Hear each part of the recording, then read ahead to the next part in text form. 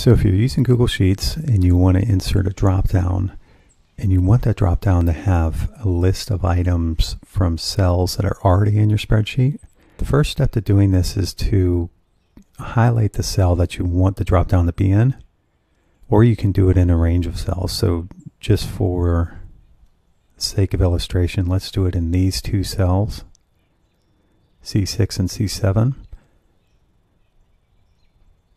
You go up to the data menu and you go down to data validation. The cell range here should be pre-filled based on what you just selected. If you didn't do that step, you can type them into this box. And then the next box is where you tell it that it's based on cells and it's dynamic. I'm going to move this over to the right a little bit. So the different choices here, you're going to choose the first one saying, look, I have a range of cells and I'm going to tell you Google Sheets and that's what I want the values in the drop-down box to be. So leave it at that. In this box, it's easier just to select them, but you can type them in. But we're going to click on this little grid. It asks us what data we're going to select these four items. I'm going to hit OK and they're filled here.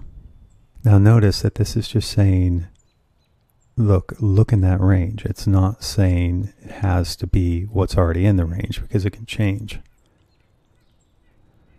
Of course you want to leave show drop down list and cell checked. If you uncheck that, then you're not going to get a drop down. And we can leave these next two options also the same as they are for now and just select save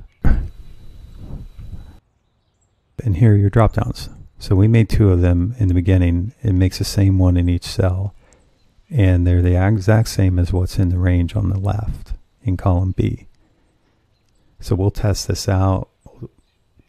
We'll say for some reason this data changes and it's, or these data change. And this is now Richard.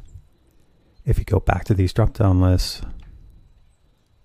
that value's changed. So these are dynamic and they're dependent on what's in the range that you specified for the drop down values. So that's all. You can't really change the way the drop down. Boom, done. Nailed it.